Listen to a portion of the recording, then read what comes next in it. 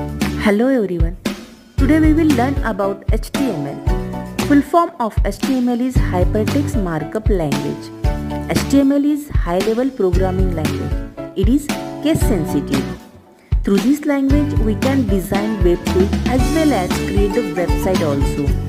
In this language there are so many tags, attributes and elements. If you see the extension of this HTML it is .html when you create the file or when you create the program, you will have to save this file through this HTML.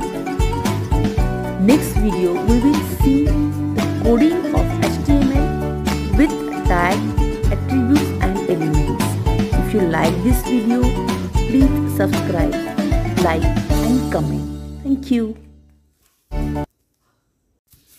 Hello everyone. Today we will learn about HTML language.